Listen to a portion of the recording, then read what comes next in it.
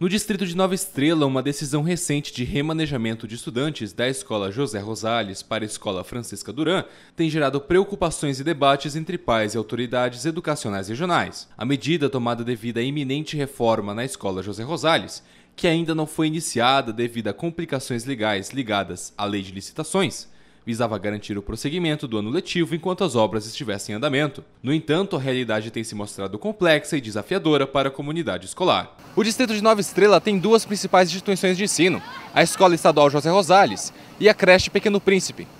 Em razão de uma reforma, os estudantes da Escola José Rosales foram transferidos para uma escola polo, que é uma escola que fica na zona rural. Entretanto, em razão dessa reforma não ter data prévia de início, os estudantes da creche Pequeno Príncipe, que já está em reformas, foram transferidos para esta.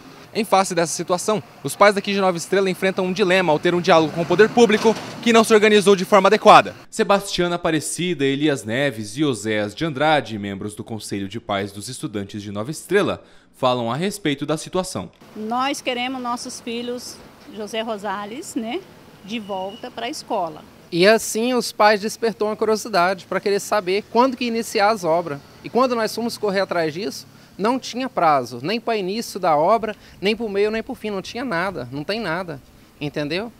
E aí o seguinte, os pais quer o quê? Que retorna os alunos de volta. Porque é o seguinte, para deslocar daqui até a escola polo ali, entendeu? Terra um trajeto, os alunos estão reclamando, entendeu? Que os motoristas estão fazendo negligência no trânsito. E houve outra situação também que a hora que o motorista foi sair, lá da escola, saiu e quase bateu na caminhonete. O que nós queremos, é, a nossa preocupação maior é a segurança dos nossos filhos, tá? Então essa saída e vinda para o Francisco Duran nos preocupa, tá? Cada momento que os nossos filhos saem, a gente fica preocupado com sua ida e com seu retorno. É isso que a gente quer.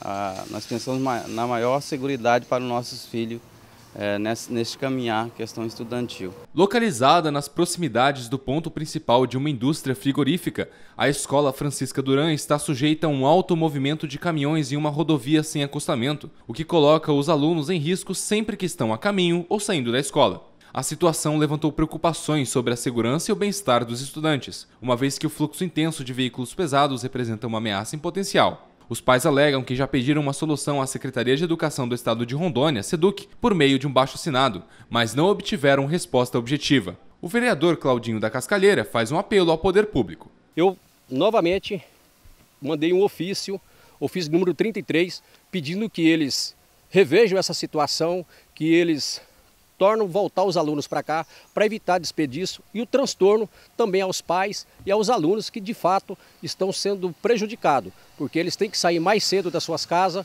e chegam mais tarde também nos, nas, nas suas residências. Eu acredito que vamos ter êxito dessa reivindicação.